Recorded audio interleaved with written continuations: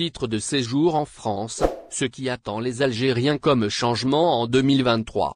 La nouvelle loi d'immigration vise à réviser les modalités d'accueil des étrangers qui souhaitent s'installer en France, y compris les Algériens désirant acquérir un titre de séjour. Retrouvez plus de détails dans la suite de ce numéro du 29 mars 2023. La France est plongée dans une nouvelle crise, après l'adoption, controversée de la réforme des retraites. Les mouvements de grève contre ces changements persistent. De ce fait, lors d'une interview télévisée sur France 2 et TF1, le président français s'est exprimé. Il a déclaré la réorganisation de la loi d'immigration des étrangers de France, y compris les Algériens désirant obtenir un titre de séjour. Dans le détail, l'examen de la loi, qui devait être discuté publiquement au Sénat à partir du 28 mars, a été reporté. Emmanuel Macron a suite à cela indiqué qu'il aurait probablement plusieurs textes. Ces derniers se verront présentés dans plusieurs semaines, a-t-il précisé. En effet, la dite loi se déclinera sous deux volets principaux. Le premier vise à faciliter l'expulsion des étrangers délinquants, tandis que le deuxième vise à favoriser l'intégration des immigrés sans papier, notamment en régularisant certains travailleurs dans des secteurs en difficulté.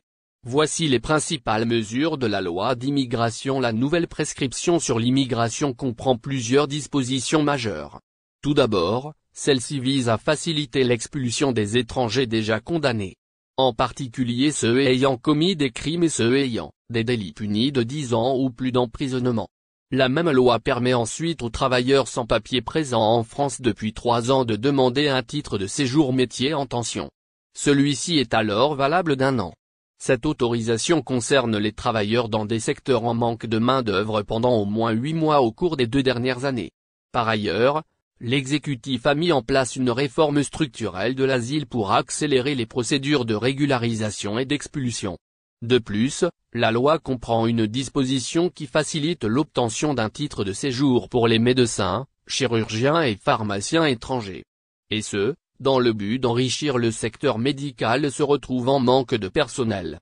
Enfin, un test de français est donc obligatoirement demandé lors de la soumission de demande pour l'obtention d'un titre de séjour valable Canada, décès d'un jeune Algérien de 18 ans dans un incendie. Une autre tragédie vient bouleverser la communauté algérienne de Montréal. Un jeune homme est mort dans un incendie qui a fait plusieurs victimes et dont les causes restent mystérieuses. Walid, jeune Montréalais de 18 ans d'origine algérienne a succombé aux flammes après avoir été coincé à l'intérieur d'un appartement en feu sans fenêtre.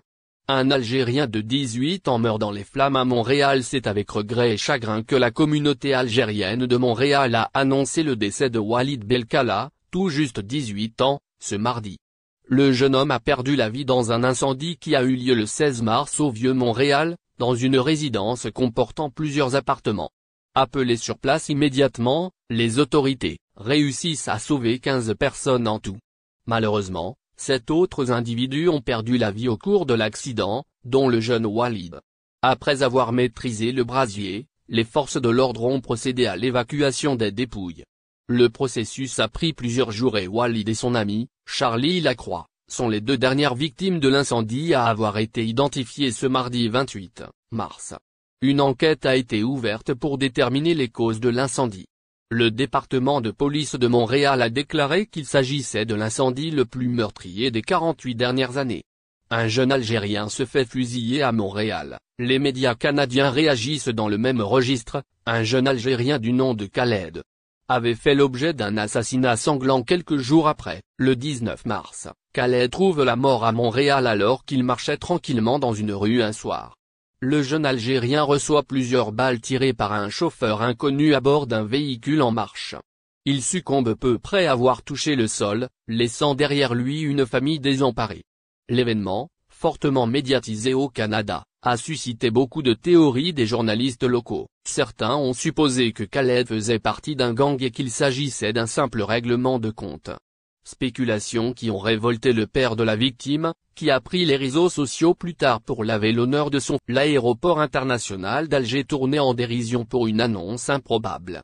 L'aéroport international d'Alger Boumdien a été de nouveau tourné en dérision sur les réseaux sociaux pour une annonce pour le moins inhabituelle. Le lavage et la vidange des véhicules sont interdits, a annoncé une jeune fille sur Facebook, suscitant l'émoi des internautes. La publication a rapidement fait le tour des réseaux sociaux, provoquant des réactions mitigées. Certains internautes ont pris l'annonce au sérieux et ont exprimé leur inquiétude quant à la possibilité que des gens puissent laver leur voiture à l'aéroport. D'autres ont immédiatement compris qu'il s'agissait d'une blague et ont réagi avec humour. Non mais ils vont ouvrir un garage et une station de lavage à l'aéroport à ce rythme, a, d'ailleurs commenté un internaute.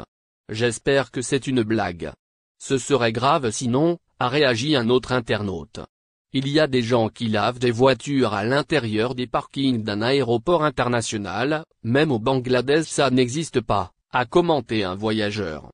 Air Algérie n'a pas à être en retard s'ils ne veulent pas que les gens profitent de l'attente pour faire l'entretien de leur voiture, a ironisé un jeune homme. Au même temps, autant qu'ils profitent de l'attente pour faire leur vidange, a commenté une dame, qui a usé de son humour. Bien que l'annonce soit évidemment fausse, elle a néanmoins suscité des questions quant à la nécessité de faire une telle annonce. L'aéroport d'Alger est l'un des aéroports les plus fréquentés d'Afrique, avec des milliers de passagers, transitant chaque jour. Les parkings de l'enceinte aéroportuaire algéroise sont souvent bondés, et il n'est donc pas possible que certains voyageurs aient tenté de laver ou de vidanger leur voiture sur place. Par ailleurs, une jeune influenceuse algérienne a récemment suscité une vague de réactions ironiques sur les réseaux sociaux après avoir partagé une vidéo TikTok dans laquelle elle a montré les prix exorbitants des produits alimentaires vendus à l'ancien aéroport international d'Alger, qui est maintenant utilisé par des compagnies aériennes étrangères telles que Turkish Airlines, Qatar Airways et Flimirat. Les prix des produits alimentaires tels que les boissons, les gâteaux, les sandwichs et les crêpes sont choquants, pour dire le moins. Les boissons commencent à partir de 200 dinars, les gâteaux à partir de 400 dinars, les sandwichs à partir de 800 dinars et les crêpes à partir de 650 dinars. Les prix ont incité beaucoup d'internautes à réagir avec ironie, exprimant leur consternation face à ces tarifs prohibitifs. Une dame a commenté en disant, j'ai pris deux morceaux de pizza coca, un sandwich et deux boissons, ça m'a coûté 2000 dinars algériens. Un jeune homme a ironisé en disant, on achète en dinars et on le perd en euros. Un autre internaute s'est moqué en demandant si cette cafétéria est cotée en N'oubliez pas abonnez-vous à notre chaîne Olive News et activez les notifications pour recevoir nos publications en temps réel.